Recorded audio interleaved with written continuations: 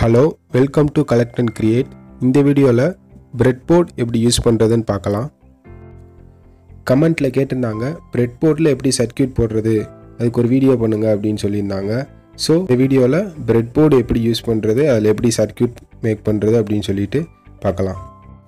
இந்த bread board வந்து ஒரு லோ காஸ்ட் பிரெட் போர்டு தான். எல்லாராலையும் வாங்கக்கூடிய பிரெட் போர்டு மோஸ்ட்லி எல்லோரும் இந்த மாதிரி பிரெட் போர்டு தான் வச்சுருப்பீங்க. இந்த பிரெட் போர்டோட பின்னாடி வந்துட்டு கம் டேப் கொடுத்துருக்காங்க. அதை வேணால் நம்ம ரிமூவ் பண்ணிவிட்டு ஒரு உட் போர்டில் இல்லை ஏதோ ஒரு டேபிளில் நம்ம வந்து அதை ஃபிக்ஸ் பண்ணி நம்ம யூஸ் பண்ணிக்கலாம். இந்த பிரெட் போர்டோட சைடில் ஃபுல்லாக அந்த கப்பிள் பின்ஸ் மாதிரி வச்சுருக்காங்க. அது எதுக்காண்டி அந்த கப்பிள் பின்ஸ் வச்சுருக்காங்கன்னா டூ ஆர் மோர் பிரெட் போர்ட்ஸை நம்ம வந்து அந்த அந்த பிரெட் போர்டோட நம்ம வந்து கப்பிள் பண்ணி யூஸ் பண்ணிக்கலாம். அப்படி கனெக்ட் பண்ணி நம்ம யூஸ் பண்ணிக்கலாம். அதுக்காண்டி தான் அந்த மாதிரி சைடில் வந்து அந்த பின்ஸ் வச்சுருக்காங்க. இந்த மாதிரியான இந்த லோ காஸ்ட் பிரெட் போர்டில் உள்ளே யூஸ் பண்ணியிருக்க அந்த கனெக்ஷனுக்காண்டி உள்ளே யூஸ் பண்ணியிருக்க அந்த மெட்டல்ஸ் வந்து நிக்கல் அந்த மாதிரியான மெட்டல்லாம் யூஸ் பண்ணுவாங்க. அதே வந்து ஒரு குட் குவாலிட்டி கொஞ்சம் நல்ல காஸ்ட்லியான பிரெட் போர்ட்லாம் உள்ளே வந்து காப்பர் யூஸ் பண்ணுவாங்க. காப்பர் யூஸ் பண்ணும்போது என்னென்னா நம்மளுக்கு வந்து ரெசிஸ்டன்ஸ் குறையும். அதே மாதிரி அந்த காலம்ஸ் அண்ட் ரோஸை டினோட் பண்ணுற அந்த நம்பர்ஸ் அண்ட் லெட்டர்ஸ்லாம் அவங்களால கலரில் நல்லா அழகாக இருக்கும். கொடுத்துருப்பாங்க கலரில் கொடுத்துருப்பாங்க. பார்க்கவே கொஞ்சம் நல்லா லுக்காக இருக்கும் அந்த மாதிரி பிரெட் போர்ட்ஸ் இது சும்மா ஒரு லோ காஸ்ட் பிரெட் போர்டு தானே அவ்வளோதான் இருக்கும். இந்த பிரெட் போர்டில் அந்த மேலே இருக்க இந்த ஃபஸ்ட் ரீஜன் எடுத்துக்கலாம். அதில் டென் டென் பின்ஸாக அவங்க வந்து ஒரு பத்து பார்ட் வந்து செப்பரேட் பண்ணியிருப்பாங்க அதில் ஃபஸ்ட்டு ஃபைவ் பார்ட்டை மொதல் எடுத்துக்கலாம். இல்லை அந்த மேலே ஃபஸ்ட்டு ரோ இருக்குல்ல அது ஃபுல்லாக ஒரே கனெக்ஷனாக இருக்கும். ரெண்டாவது அந்த செகண்ட் ரோ ஃபுல்லாக அந்த ஒரே கனெக்ஷனாக இருக்கும். அந்த ஃபஸ்ட்டு ஃபைவ் பார்ட்டுக்குள்ளே அதே மாதிரி அந்த செகண்ட் ஃபைவ் பார்ட் இருக்குல்ல அதில் மேலே இருக்க ஃபஸ்ட் ரோ ஃபுல்லாக ஒரே கனெக்ஷனாக இருக்கும். கீழே இருக்க அந்த செகண்ட் ரோ ஃபுல்லாக ஒரே கனெக்ஷனாக இருக்கும். அதே மாதிரி தான் வந்துட்டு கீழே இருக்க அந்த கீழே லாஸ்ட் ரீஜியன் இருக்குல்ல அதுலேயும் அந்த ஃபஸ்ட்டு ஃபைவ் பார்ட் ஃபுல்லாக அந்த மேலே சொன்னேன்ல அதே மாதிரி தான் அந்த செகண்ட் ஃபைவ் பார்ட்டும் அதே மாதிரி தான். Um, ஃபஸ்ட் ரோஃபில் ஒரே கனெக்ஷன் செகண்ட் ரோஃபில் ஒரே கனெக்ஷன் இப்படியோ அதே மாதிரி தான் வந்து கீழேயும். அடுத்ததாக அந்த செகண்ட் ரீஜியனில் மேலே one two three four five ஒன்றுக்கு அப்புறம் ஃபைவ் தான் கொடுத்துருப்பாங்க. இடையில வந்து டூ த்ரீ ஃபோர் நம்மளாம் எடுத்துக்கிறணும் அந்த காலத்தை ஃபுல்லாக நம்பர்ஸால் அவங்க டினோட் பண்ணியிருப்பாங்க. அப்புறம் அந்த ரோஸை ஃபுல்லாக ஏபிசிடிஎஃப்னு வந்து டினோட் பண்ணியிருப்பாங்க. இந்த ஃபஸ்ட்டு காலம் இருக்குல்ல அது ஃபுல்லாக ஒரே கனெக்ஷனாக இருக்கும். செகண்ட் காலம் ஃபுல்லாக ஒரே கனெக்ஷனாக இருக்கும். தேர்ட் காலம் ஃபுல்லாக ஒரே கனெக்ஷனாக இருக்கும். இந்த காலம் ஃபுல்லாமே வந்துட்டு ஒரே கனெக்ஷனாக தான் இருக்கும். இதில் வந்துட்டு அந்த ரோ வந்து நீங்கள் கன்சிடர் பண்ணாதீங்க. அந்த ஏபிசிடி அதெல்லாம் விட்டுருங்க. காலமை மட்டும் பாருங்கள் அந்த ஒன் டூ த்ரீலேருந்து அப்படியே இந்த லாஸ்ட்டு காலம் வரைக்கும் எல்லாமே ஒன் ஃபுல்லாக ஒரே கனெக்ஷன் டூ ஃபுல்லாக ஒரே கனெக்ஷன் அது மாதிரி தான் லாஸ்ட்டு வரைக்கும் இருக்கும். அதுக்கப்புறம் வந்து நடுவில் ஒரு டிவைடர் இருக்கும். அதுக்கப்புறம் தேர்ட் ரீஜியன் செகண்ட் ரீஜியன் வந்து எப்படியோ அதே மாதிரி தான் தேர்ட் ரீஜியனும் ஒவ்வொரு காலமும் தனித்தனி கனெக்ஷனாக இருக்கும். இப்போ அந்த கனெக்ஷன் வந்து எப்படி இருக்கும் அப்படின்னு சும்மா நான் ஒரு பேப்பரில் சும்மா ட்ரா பண்ணி காமிக்கிறேன். அதில் அந்த ஃபே மேலே அந்த ஃபஸ்ட்டு ரீஜியன் சொன்னேன்ல அதில் அந்த ஃபஸ்ட்டு ஃபைவ் பார்ட்டில் மேலே ஃபஸ்ட்டு ரோ ஃபுல்லாக ஒரே கனெக்ஷன் செகண்ட் ரோ ஃபுல்லாக ஒரே கனெக்ஷன் அதே மாதிரி நெக்ஸ்ட்டு ஃபைவ் பார்ட்டு மேலே ஃபஸ்ட் ரோ ஃபுல்லாக ஒரே கனெக்ஷன் செகண்ட் ரோ ஃபுல்லாக ஒரே கனெக்ஷன் அதுக்கப்புறம் அந்த செகண்ட் ரீஜியனில் அந்த one two three four five அந்த காலம்ஸ்லாம் இருக்குல்ல அதில் அந்த ஒன் ஃபுல்லாக ஒரே கனெக்ஷனாக இருக்கும். டூ ஃபுல்லாக ஒரே கனெக்ஷனாக இருக்கும். த்ரீ ஃபுல்லாக ஒரே கனெக்ஷனாக இருக்கும். அப்படி தான் லாஸ்ட்டு காலம் வரைக்கும் ஒரே கனெக்ஷனாக இருக்கும் அந்த செகண்ட் ரீஜியனில்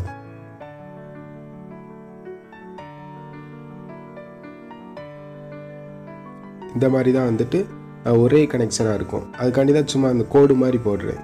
ஒரே கனெக்ஷனாக ஒரு கனெக்ஷனில் ஒரு ஒரு காலத்தில் வந்துட்டு ஃபைவ் பின்ஸ் இருக்கும். அதுக்கப்புறம் நடுவில் வந்து ஒரு டிவைடர் மாதிரி இருக்கும். அதுக்கப்புறம் கீழே அந்த தேர்ட் ரீஜியன் அதுலேயும் ஒவ்வொரு காலமும் தனித்தனி கனெக்ஷனாக இருக்கும். ஒவ்வொரு காலத்துலேயும் ஃபைவ் ஃபைவ் பின்ஸ் இருக்கும். அதே மாதிரி தான் லாஸ்ட் ரீஜியன் ஃபோர்த் ரீஜியனில் மேலே எப்படி ஃபஸ்ட் ரீஜியனில் இருந்துச்சோ அதே மாதிரி தான் ஃபஸ்ட் ரோஃபில் ஒரே கனெக்ஷன் செகண்ட் ரோஃபில் ஒரே கனெக்ஷன் அடுத்து நெக்ஸ்ட் ஃபைவ் பாயிண்ட்டு அதில் ஃபஸ்ட் ரோ ஒரே கனெக்ஷன் செகண்ட் ரோ ஒரே கனெக்ஷன் அவ்வளோதான் ரொம்ப சிம்பிள் தான் இதில் சர்க்கியூட் போடுறது அப்படின்றது. ரொம்ப ரொம்ப ஈஸியான விஷயந்தான் நீங்கள் தெரிஞ்சுக்கிட்டிங்கன்னா ரொம்ப ஈஸி எப்படி எப்படி அந்த பின்ஸை மட்டும் தெரிஞ்சுக்கிட்டிங்கன்னா ரொம்ப ஈஸி இப்போ நான் ஒரு சிம்பிள் சர்க்கியூட் நான் வந்து இப்போ போட்டு காமிக்கிறேன். இந்த பிரெட் போர்டில் யூஸ் பண்ணுற ஒயர் வந்து இந்த மாதிரி ஜம்பர் ஒயர் யூஸ் பண்ணலாம். இந்த ஜம்பர் ஒயர் தான் யூஸ் பண்ணணும் அப்படின்னு இல்லை.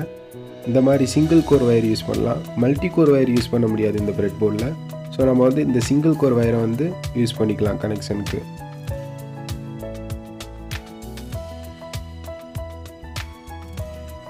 இப்போ நம்ம வந்து ஒரு சிம்பிள் சர்க்கியூட் போடலாம். ஃபஸ்ட்டு நான் வந்து ஒரு எல்இடி எடுத்துக்கிறேன்.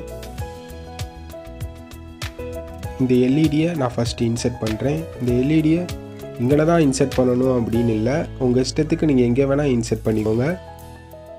அந்த பிரெட் போர்டு அந்த பின் கனெக்ஷன்ஸை மட்டும் நீங்கள் மைண்டில் வச்சுட்டு நீங்கள் உங்கள் இஷ்டத்துக்கு நீங்கள் எங்கே வேணால் கனெக்ட் பண்ணிக்கலாம். இந்த எலமெண்ட்டை வந்து ஐசியை தவிர வேறு எந்த எலமெண்ட்டுக்குமே வந்து நீங்கள் இங்கே தான் சேர்க்கணும் அப்படின்லாம் எந்த ரூலுமே இல்லை. ஐசியை வந்து இதுக்கப்புறம் நான் உங்களுக்கு சொல்கிறேன் எப்படி கனெக்ட் பண்ணணும் அப்படின்னு. ஃபஸ்ட்டு நான் வந்து எல்இடியை கனெக்ட் பண்ணிட்டேன். இந்த எல்இடியை கனெக்ட் பண்ணியிருக்க அந்த பாசிட்டிவ் டெர்மினல் நெகட்டிவ் டெர்மினல் ரெண்டுமே வந்து தனித்தனி காலம் ஸோ அது ரெண்டுமே வந்து தனித்தனி கனெக்ஷன் இப்போ அந்த பாசிட்டிவ் டெர்மினலில் கனெக்ட் பண்ணியிருக்க அந்த காலம் இருக்குல்ல அதில் மொத்தம் அஞ்சு பின்னு அதில் இப்போ ஒரு பின்னில் வந்துட்டு நம்ம எல்இடி கனெக்ட் பண்ணியாச்சு. மீதி இருக்க நாலு பின்னில் எதுலேருந்து வேணால் நம்ம வந்து அந்த ரெசிஸ்டர் எடுத்து இன்னொரு இடத்துல கனெக்ட் பண்ணலாம். ஸோ நான் ஒரு ரெசிஸ்டர் எடுத்து இன்னொரு காலம் தனியாக கனெக்ட் பண்ணிட்டேன். இப்போ அந்த நெகட்டிவ் டெர்மினல் இருக்குல்ல அதுலேருந்து ஒரு வயர் எடுத்திருக்கேன். அந்த ரெசிஸ்டர் இன்னொரு ரெண்டுலேருந்து ஒரு வயர் எடுத்திருக்கேன் சோர்ஸ் காண்டி. இப்போ நான் சோர்ஸ் கொடுக்குறேன். இந்த பாசிட்டிவ் தனியாக கொடுத்துருக்கேன் நெகட்டிவ் தனியாக கொடுத்துருக்கேன். இப்போ அந்த எல்இடி க்ளோ ஆகுது. அவ்வளோதான் இந்த மாதிரி தான் ரொம்ப ஈஸி தான். இந்த பிரெட் போர்டில் வந்து சர்க்கியூட் போடுறதுன்றது.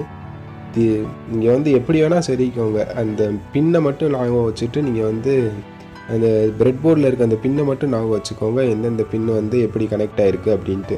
அதை மட்டும் ஞாபகம் வச்சுட்டு நீங்கள் வந்து உங்கள் இஷ்டத்துக்கு நீங்கள் எப்படி வேணால் கனெக்ட் பண்ணிக்கோங்க. ஐசிக்கு மட்டும் வந்து ரூல் இருக்குது அதை வந்து இப்படி தான் கனெக்ட் பண்ணணும் அப்படின்ட்டு.